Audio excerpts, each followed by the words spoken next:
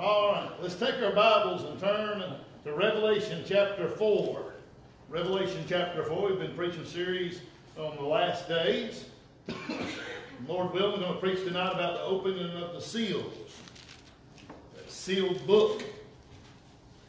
Revelation chapter 4. All right, hopefully you found it by now. It's not too hard to find the book of Revelation. Just turn to the back. Now don't read, start reading the concordance. Make sure it says Revelation. But here we go, verse 1. It says, After this I looked, and behold, the door was opened in heaven, and the first voice which I heard was as it were a trumpet talking with me, and said, which said, Come up hither, and I will show thee the things which must be hereafter.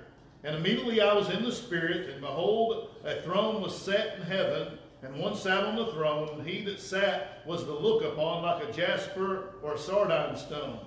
And there was a rainbow round about the throne, and the sight like unto an emerald. And round about the throne were four and twenty seats. And upon the seats I saw four and twenty elders sitting, clothed in a white raiment, and they had on their heads crowns of gold. And out of the throne proceeded lightnings and thunderings and voices. And there were seven lamps of fire burning before the throne, which are the seven spirits of God. And before the throne uh, there was a sea of glass like unto crystal. And in the midst of the throne and round about the throne were four uh, beasts full of eyes before and behind. And the beast was, and the first beast was like a lion, and the second beast like a calf, and the third beast like the face of a man, and the fourth beast was like a flying eagle. And the four beasts, each of them had six wings around about him. And they were full of eyes within, and rest not day or night, saying, Holy, holy, holy is the Lord God Almighty, which was, which is, and is to come. Let's pray. Heavenly Father, I pray that you be with me as I stand before your congregation tonight. I pray, Lord, you help me to stand in the power of the Spirit of God. I pray that you lead me in what I should say and not say. And Lord, I pray that you'd make this sermon tonight a blessing to everybody that hears it. And we ask these things in Christ's precious and holy name. Amen. Now, as we went to this, delved into this series on the last days, we started out talking about the climate of the last days. And we determined as we looked at uh, what uh, the book of Timothy said about the last days that we're living in those days. The Bible says, men shall be lovers of their own selves, covetous, boasters, proud, blasphemers, disobedient to parents. The list went on and on, and we determined we must be in the last days. Right. Of course, we are in the last days because it was the last days when Jesus came down to earth. But if we're in those parts of the last days, we're in the end of the last days. Right. We also looked at the first resurrection where the saints of God will be caught up into the sky to meet the Lord in the air. We studied 1 Thessalonians chapter 4 and saw that. And I praise God that one of these days I'm going to be called up to meet the Lord in the air. Whether I be alive that is coming, or whether I be absent from the body present with the Lord, I'll be called up together with all the saints of God to that grand reunion up in the sky. Amen. We also talked about those last week that were left behind. Those who are unsaved they're left behind, and they're going to endure the worst time that's ever been upon the face of the earth, which is the tribulation period, which I hope to get to uh, tonight. But here in our text, we read about how John was called up into the third heaven when God said, Come up hither. Now, I don't know whether he was called up in the body or whether he was just called up in the spirit, but he was called up with those words, Come up hither. I believe certainly this, this pictures the rapture of the church that'll come one day. I believe that's what I'll hear. I'll hear a trumpet, and maybe God say, Come up hither before I'm called up to witness the same things that John saw in this vision. Uh, 1 Thessalonians chapter 4 teaches the fact of the resurrection, and 1 Corinthians chapter 15, verses 51 and through, teaches us about the transformation of that, that rapture of the church that catching away. I find it very interesting when we read the book of Genesis before the flood. Before the flood, Enoch walked with God and he was not. Enoch was taken. Likewise, the church will be taken before God judges the earth the second time. Also, uh, Noah and his family went inside the ark and they endured that storm, and God protected them. I believe that also is a picture of Israel, whom God will uh, watch out for during the tribulation period, but they'll go through it. The church will not endure the tribulation period, will be called out before, like Enoch. I find that very interesting. Christ uses uh, the, uh, the flood as an example of his coming, by the way. Now, uh, John, as he's called up into that third heaven, he sees one that sits on the throne. Amen. Who's likened to looking to as a jasper or a sardine stone. I tell you what, the king on his throne will be spectacular to behold. And as I preach this morning, I can't wait to look upon him and see those nail scarred hands that were scarred for me upon Calvary. Amen. But around the throne was a rainbow. And of course, the rainbow is a symbol of, of God's mercy, folks. Don't let anybody hijack that symbol. Right. God showed that rainbow. He said, I'm not going to cause it to rain upon the earth anymore. Amen. It's a symbol of his covenant with his people. Yeah. There's a rainbow around the throne. John saw 24 elders round about that throne. By the way, that's the number of the Levitical order in 1 Chronicles chapter 24, verses 1 uh, through 9. Now, I don't believe this is the Levitical order of the Israelites, but I do believe it is a symbolic of a priesthood. Amen. And of course, we know the Christians themselves, the children of God, are kings and priests unto God. Amen. I do not have to confess my sins to some priest in some confessional booth. Right. I can come boldly to the throne of grace and find mercy and help in the time of need because I am a priest unto God under the great and holy high priest, Amen. the Lord Jesus Christ himself. Amen. But these 24 elders, now I don't know exactly who they are. I can speculate, but I'm not going to speculate too much in this sermon. Right. But I do know that they have victor's crowns upon their heads. And they take these victor crowns off of their heads and they cast them before the Savior's feet. As if they were to say, We didn't earn these. We only were able to attain these because of what you did. Amen. They say, Thou dost deserve all honor and glory. And they cast those crowns before the Lord's feet. Yes. Now, it only tells us that 24 elders do that. But you know what? If I have a crown up in heaven, and I plan on having a few, I'm not going to strut around heaven with them. I'm going to take mine off too, and I'm going to lay them at the feet of the one who saved me. Amen. I want to cast the crown before the Lord's feet. I think about what they said when they cast the crown. They says, Thou art worthy, O Lord, to receive glory and honor and power, for thou hast created all things. For thy pleasure are they created. And I'll say amen to that. Amen. And if they lift up their voices and say it, I'm going to say it right along with them. He says that John uh, saw in the right hand of him, hand of him that sat on the throne a book, meaning a scroll, written within and on the backside sealed with seven seals. And as that, that, that scroll is being beheld by John, the question is asked, who's worthy to open this book and to loose the seals thereof? And no man in heaven, nor in the earth, nor under the earth, was able to open that book, neither to look thereon. And John says, because of this, he wept uh, much. And one of the elders comes over to him and puts his hand on his, on his shoulder and says, John, weep not. The lion of the tribe of Judah, the root of David. In other words, if you don't know who that is, King Jesus is able to open that book and to break every single seal. Amen. He is worthy to open that book. He's worthy to open the seals, and he certainly is able to do so also. Now, what is this book? Now, that's the question. This book is the key which opens the whole book of Revelation, I believe. This little book, sealed with seven seals, I believe, contains the redemption terms for the earth. That's where I land on that. Now, Jesus redeemed the soul at Calvary. He bought us with a great price by the sacrifice of himself as he bore our sins in his own body. He bought us at Calvary. I love that and where he says later on in the epistles, he says, You're not your own, you are bought with a price. What was that price? Christ's precious blood is what bought me. Amen. Not my own good works, not from out of my own pocketbook, but the Lord Jesus Christ purchased me with his own blood. Amen. It's like what Peter said, not about, uh, uh, Peter says, not with corruptible things as silver and gold, but by his precious blood. Amen. Now, he redeems the body at the resurrection. He redeemed our souls at Calvary. He redeems our body at the resurrection. I'm waiting for that redemption. I need that redemption. This old body's wearing out. It's not being redeemed. It's corrupting. But one of these days I'll have a body likened to his glorious body. My body will be redeemed. Amen. John knew the prospect of this, and he says uh, that, that, he'd be that we would be adorned with that body. I, am thinking of David. David said, "I'll be satisfied when I'm like him." Not John. John also looked forward to that body too.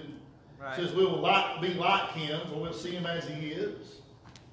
Job said that even though worms eat this body, in my flesh I'll see God. He was looking for that body. The redemption of the body will come one day.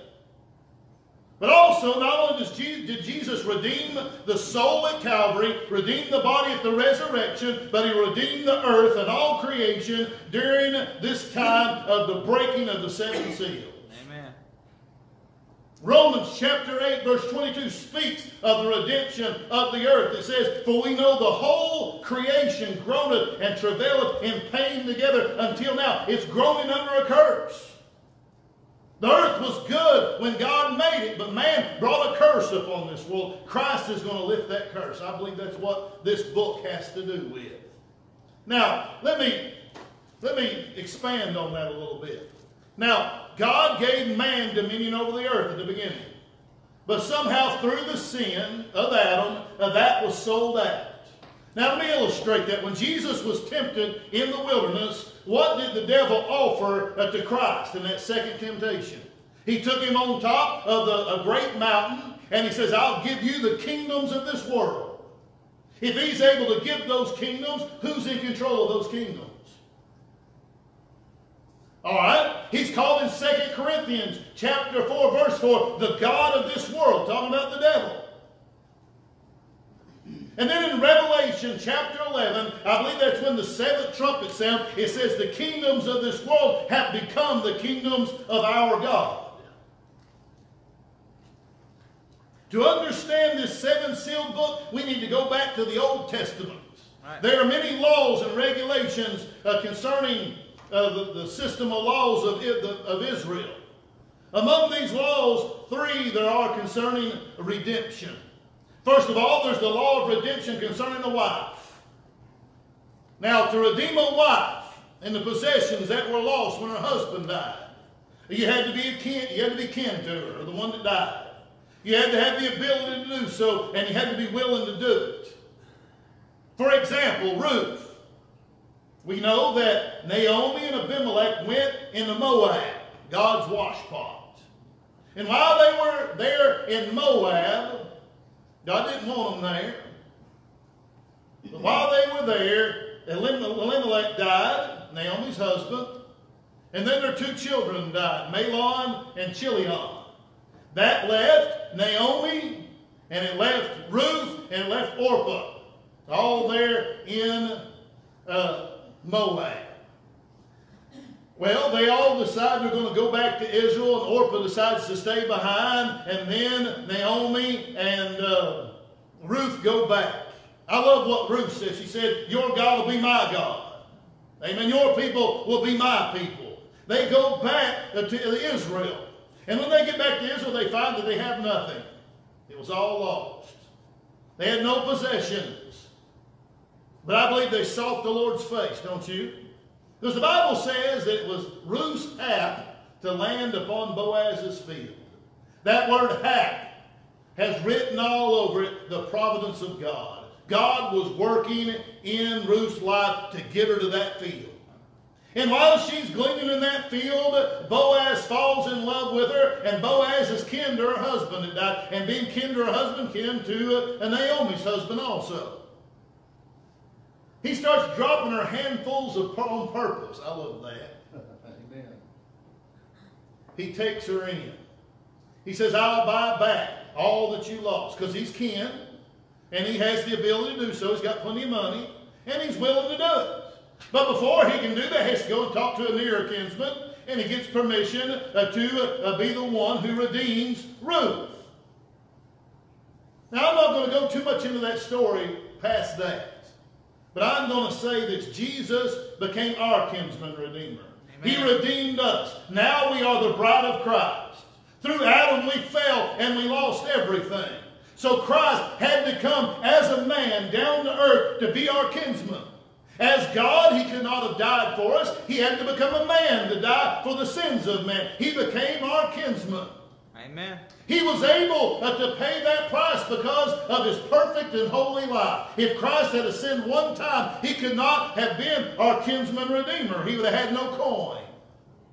But he lived that perfect life and became a sacrifice, and he was willing to do it.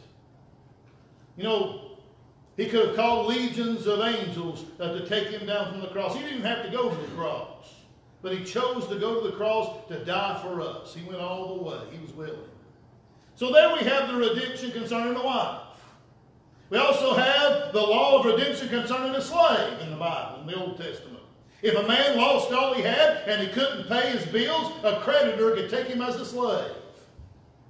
And when he had served for six years, on that seventh year, he would be set free. Now, he could choose to stay behind and continue to be a slave, but he could be set free after six years if he so chose to do so. Now, not only could he be set free after six years, but also somebody could pay his debt and set him free too. Well, that's what Jesus did for us. Adam lost all when he sinned, and thus through Adam we all became slaves to sin. But the last Adam, the Lord Jesus Christ, paid our debt that we owed that we might be free.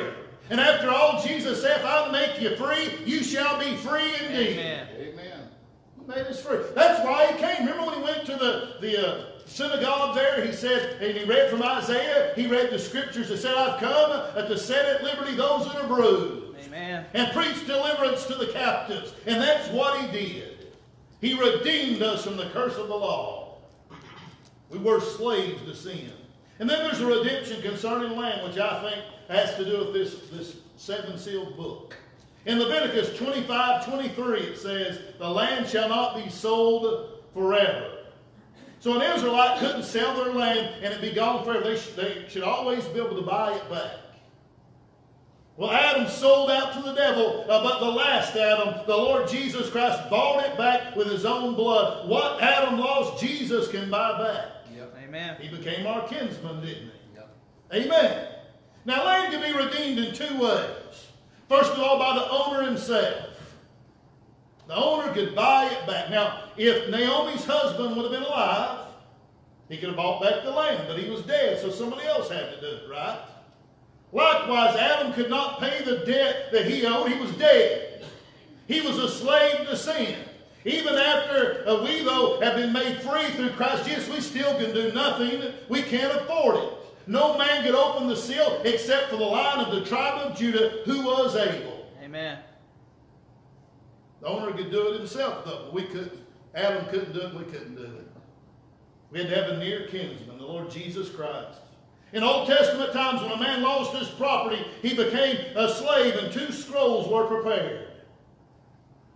On these two scrolls were the terms of redemption, and they were written on those scrolls. One scroll was left open in the temple for all people to read who were interested. The other was rolled up and sealed with seven seals, which were kept inside the temple until the kinsman could come and redeem each and every point of that contract. He had to be willing to do it, and he had to be able to do it. That's why they, the 24 elders and those that are in heaven, that's why us who are redeemed, who will be there also, will sing that new song because the Lamb is able to redeem all things. He redeemed our souls. He'll redeem our bodies. And one of these days, He's going to redeem all that Adam lost in the fall. Amen. Christ, our kinsman redeemer, has taken the scroll. The first and second redemption have been done. He redeemed us as his bride, and he redeemed us who were slaves. Amen. Only the land must be redeemed. And that's going to happen here in the book of Revelation.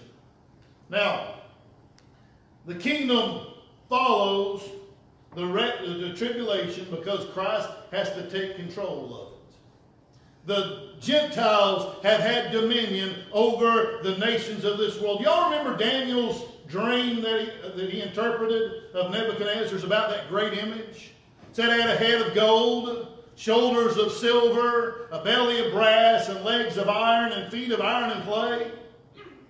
That image represented the kingdoms of this world. Starting with the head of gold, that was Nebuchadnezzar and his great kingdom. Right. That's why Nebuchadnezzar later on probably built that image made of all of gold because he said, My kingdom's going to keep on going. Right.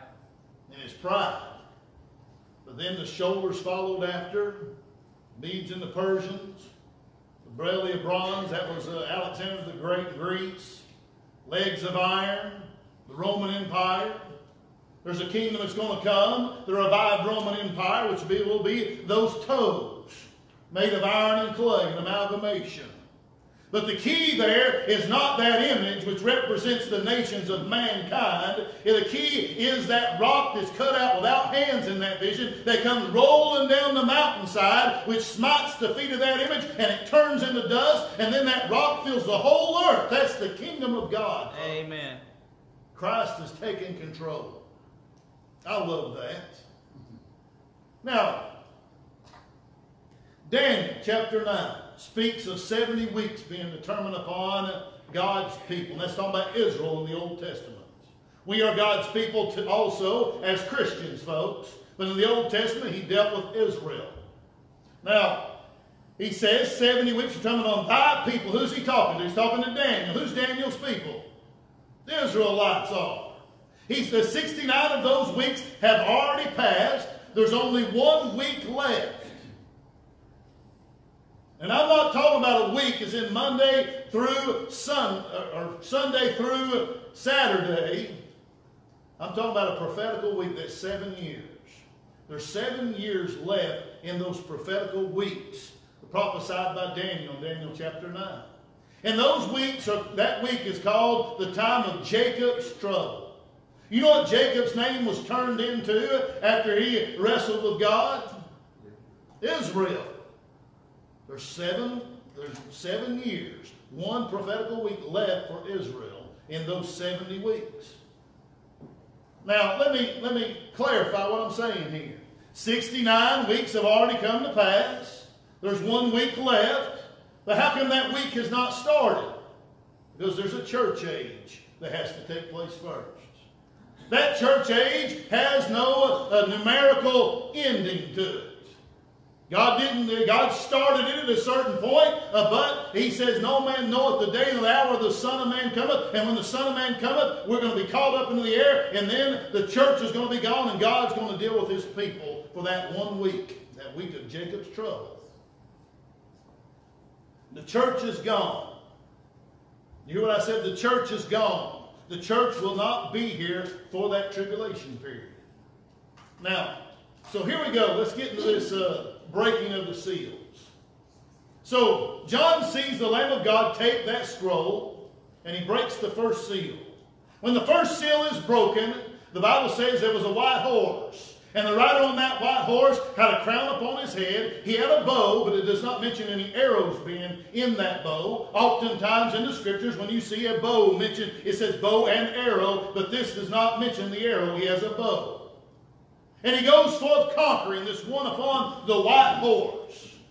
Now, this rider upon the white horse, don't be confused about this. Jesus does come on a white horse, Revelation 19. But this rider on the white horse is not Jesus. He's the great uh, imitator, the devil himself, the Antichrist. Right.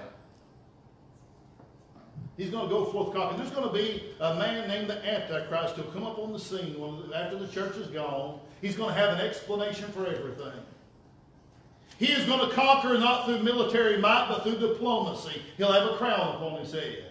He'll have a power, but he will not exert that power at the first. He'll have an explanation. Most of y'all have heard of the mark of the beast. That's a number that'll cause men to take that they can't buy nor sell. I believe he'll use that to gain power. Right. I mean, you start having food shortages, you certainly can get people to take a mark. I tell you what, we've got some similar stuff going on right now, ain't Yeah. So this white, rider on the white horse is the Antichrist. Now I'm not going to go into a lot of detail. I'm not going verse by verse here. But I personally believe the Antichrist will be a man. But he'll be assassinated with a deadly head wound. And I believe the devil will inherit his body uh, for the last part of the tribulation, for the last three and a half years. You believe that or you do not believe that. I don't really care. That's what I believe. But anyways, the second seal is broken. When the second seal is broken, broken, John said, I saw a rider on a red horse. And he said he had a great sword in his hand, and he took peace from the earth. There is going to be wars and rumors of wars during this tribulation period. There's going to be wars such as were never fought during this time. He said he saw another, the third seal broken, and he saw a black horse. And the rider on the black horse had a pair of balances in his hands. And he said, among other things, a measure of wheat for a penny. That's talking about inflation, folks. Now, if you'll study the whole book of Revelation, you're going to see some great catastrophes take place. A third of the trees will be burned up. All, all in the, the third of the sea will be turned into blood, and the things will die in the sea. There's going to be a food shortage. And there's going to be skyrocketing inflation. I find it very interesting that uh, we just keep on printing money here in America. You know what that causes? Causes inflation, don't it? Rider on the black horse. And then the fourth seal is broken. There's a rider on a pale horse, and death and hell followed after him. He says that power is given to this rider upon the pale horse to kill with the sword. That's war. Uh, that's, that's anger. That's violence. With hunger and with death. That's talking about pestilences. And certainly we are seeing some pestilences today too, aren't we? I tell you what, this book's becoming more and more real as we move along. Amen. I do believe the church has gone before the tribulation period, but that doesn't mean we won't suffer some things before that time happens. Right. And you better be prepared to go through some things. Amen. And he said that, they, with this pale horse, they would also, he would kill with the beasts of the earth. It's in chapter 6, verse 8. The animals are going to turn on people. Now, these four horsemen, that, that sounds pretty brutal, doesn't it? I'm glad I'm not going to be here. I'm glad I know the Lord Jesus Christ as my personal Savior. I'm glad that I can flee from the wrath to come to the Almighty One and be saved. You can be too. But then that sixth seal is broken, and John says, I saw some souls under the altar who are praying for vengeance. You say, who are those souls under the altar, preacher? That's people who refuse to take that mark of the beast. When the Antichrist says, you're going to have to take this mark to buy or sell because we're in a food crisis, they're going to say, we're not going to take it. Amen. They're going to look to Christ and be saved during, even during this terrible time, and but they're going to be killed for it. Amen. The Bible says uh, that they will be beheaded because they received not that mark. I find it strange that there's been some beheadings happening here recently, over in the Middle East primarily. Beheadings will not be a thing of the past. You'd think we was above that in society, wouldn't you? You know, there's some brutal people still alive. But these people will be slain, and they'll be the souls and they'll cry out for vengeance. And I believe that there's a recurring theme with these souls under the altar all throughout the book of Revelation. We'll look at that here in a moment. But when the sixth seal is broken, then we're trying to go fast through this. This really deserves more time. Maybe we'll do that some other time. But when the sixth seal is broken, there's physical changes in the earth. There's a great earthquake. The sun is made black. The moon is made as blood. The stars begin to fall to the earth. And that's talking about meteorites.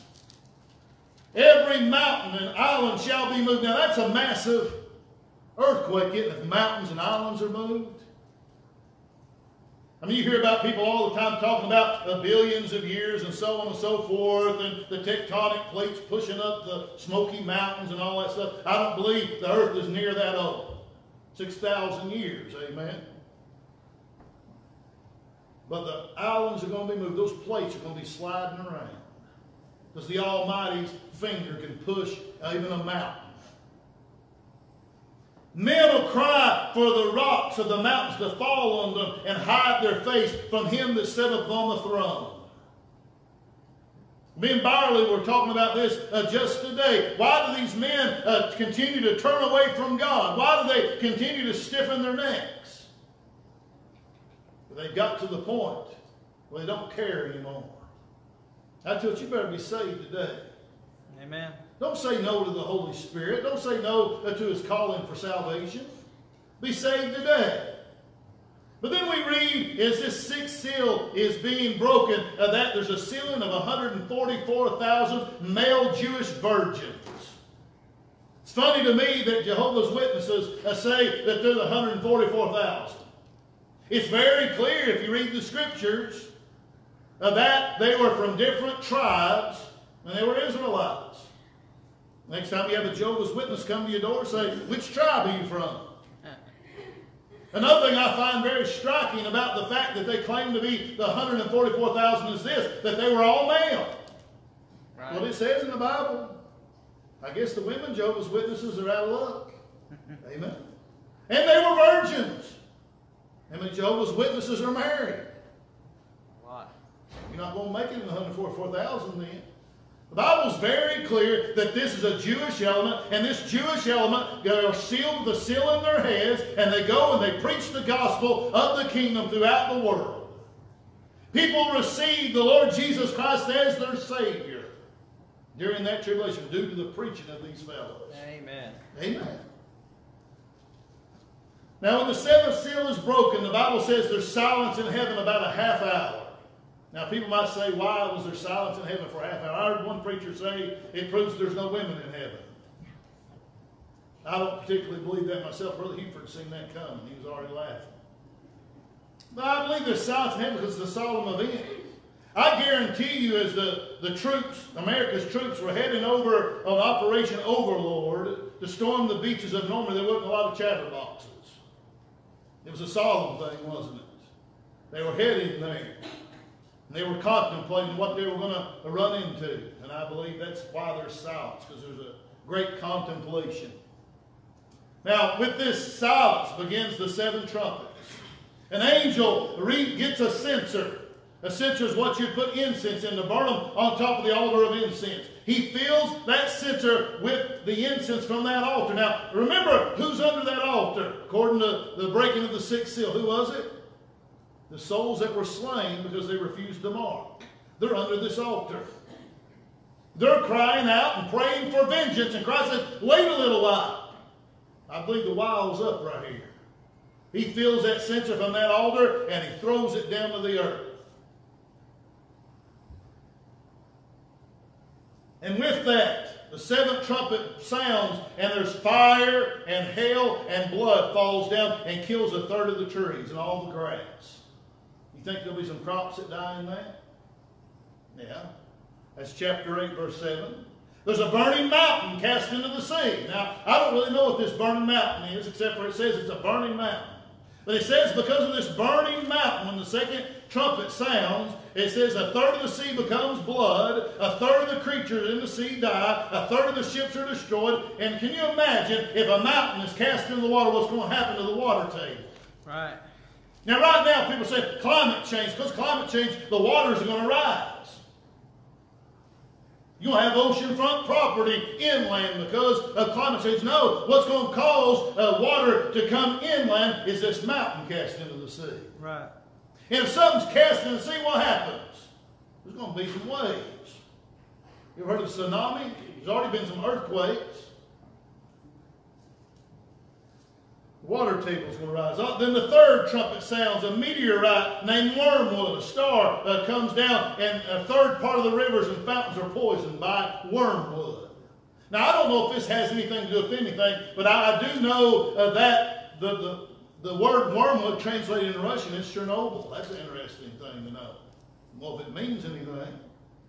But certainly radiation could poison, and uh, radiation comes from space. You can do what you want to with that.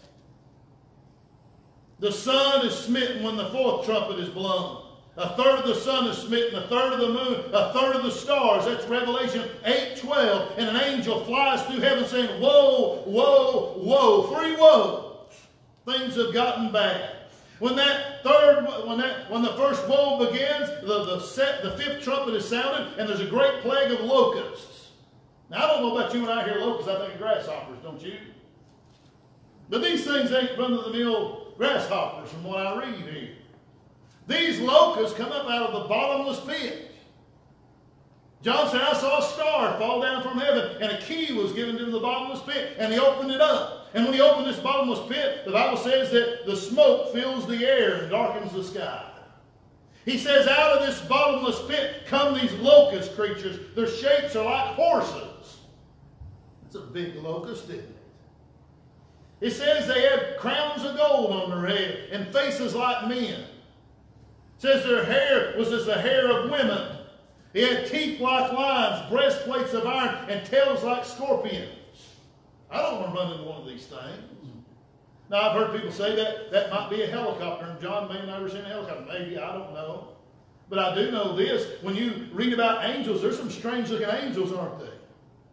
I mean, there's angels that's mentioned who have a face on four different sides.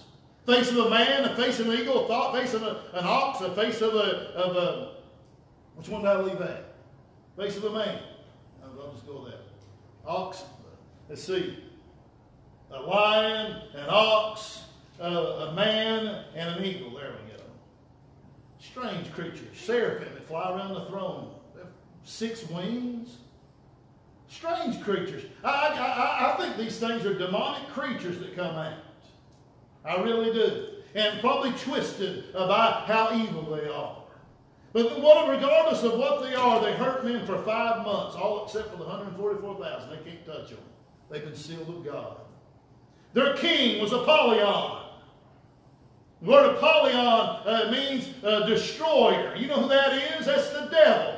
He's the one who opens up that bottomless pit, the one who fell down from heaven. I think about what Jesus said about the destroyer. Jesus said, The thief cometh not but for to steal, kill, and destroy. But I've come that they might have life. He's come to destroy. Wouldn't you hate to be around something like this? The second woe, that the angel that said three woes, here's the second woe. A plague of supernatural horsemen. Now, it's very interesting if you study angels. Now, there's fallen angels that are free on the earth right now. You read the New Testament, you see where people were possessed by demons. Fallen angels. Remember the one who uh, possessed that, that madman and the demons asked not to be sent to the abyss. They asked to be uh, put into the swine and the swine run off the cliff. Y'all remember that? The kid who was foaming and fell down to the ground, that was demons. Bible says we strive not against principalities of powers, but forces of darkness. And talks about high places. I believe there's a lot of demon-possessed people probably in high places in this world, in all places. Right. It's very interesting when the devil's mentioned a few times in the Old Testament. He's called the king of Tyre in one place, the commercial hub of that day. He's called the prince of Persia in another place. Persia certainly was a world power at the time. And then his seat was in Pergamos in the first book of Revelation, uh, first part of Revelation, when it's describing those seven churches in Asia. Certainly he is working right now uh, through the people, and there's angels uh, who are uh, fallen angels that are working in men. But also there's another group of angels that are bound up. Now these must be some nasty individuals. I mean, some of them are running loose. These right. ones that are chained must be some bad hombres. See? There's a group that are bound under the Euphrates River. These fallen angels. They're loosed when that sixth trumpet is blasted and they slay a third part of men. That's Revelation 9, 13 through 19. And as all this is going on, God does have some witnesses there. He has 144,000, but he also has two witnesses that appear on the scene. And there's a lot of debate. Who's the two witnesses? I was kidding with Brother Byron who was preaching in the park. I said, maybe the Lord will let us be the two witnesses. That's Tim and Byron.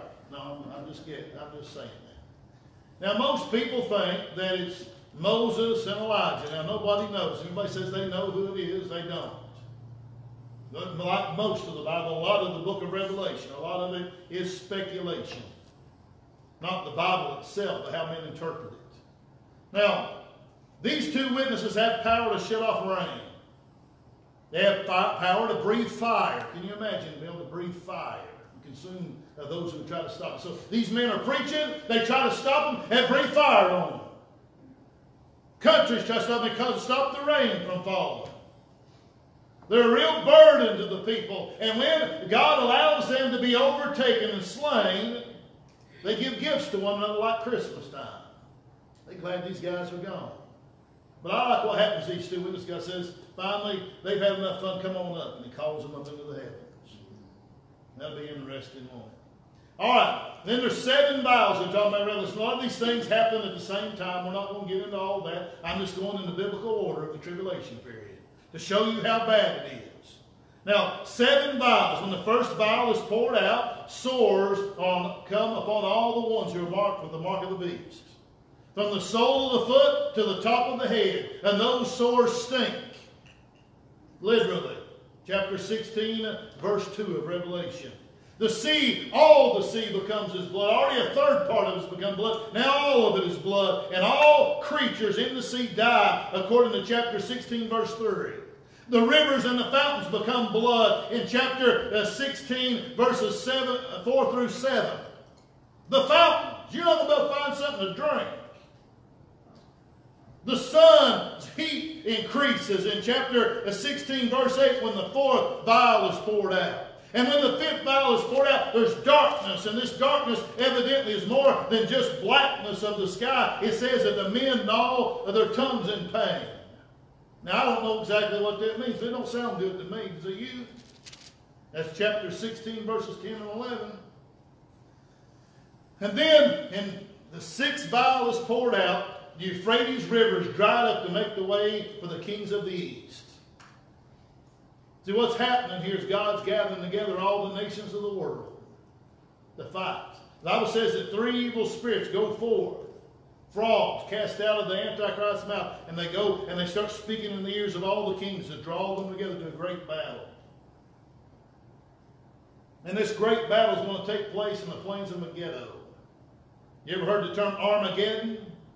That's where all nations gather together against Israel and against God. They're going to try to just wipe them off the planet. But God's got other plans, folks. We'll get to that in Revelation 19. But when the seventh vial is poured out, there's the greatest earthquake that has ever taken place takes place. The foundations of the earth are shaken. There's a great hail comes forth. Uh, it says uh, that, that if, you, if, you, if you look into how much a, a talent weighs, these hailstones weigh between 86 and 120 pounds. That's a pretty big hailstone. Years ago, I got my roof replaced because there was golf ball size hail hit that roof and dimpled it up. But I could not imagine, and I'm going with the, the conservative number, 86 pounds of ice falling from the sky. Now, I just took you through the plagues of Revelation as fast as I could. We could study that some other time, verse by verse, and look into all the little nooks and crannies of the book of Revelation. But the thing I wanted you to catch, why I went through it so fast, is to show you how bad it is. You might say, well, you're interpreting it literally. There's a lot of figurative things there. Well, if it's figurative, it's still bad, ain't it? I mean, if you speak figuratively, you're speaking of something that's in reality, and you're actually going to fall short on explaining what's going to happen in reality. I do take the Bible literally myself. I take Revelation very literally, unless Amen. there's symbolic language. I don't find very much symbolic language in a lot of places in it. But the fact is, it's going to be a bad time. Jesus said himself to be the worst time upon the face of the earth. Ever was or ever will be. That ought to be an encouragement for you to be saved and avoid it. Huh? That'll to help you make the right decision to, to seek Christ while he may be found. While he's drawing you into salvation uh, to come nigh to him and accept him as your personal Savior, you say, Preacher, are you trying to scare me into being saved? Well, if that's what it takes, that's what I'm going to do. And by the way, that's biblical. Jude 22 and 24 says, Of some have compassion, making the difference. Others save with fear, pulling them out of the fire. Amen. If fear will pull you out of the fire, I'm going to use you. Will you be saved? Will you avoid this? Will you flee from the wrath to come through the Lord Jesus Christ alone? Today is the day of salvation, folks. Amen. Saved today. Let's pray.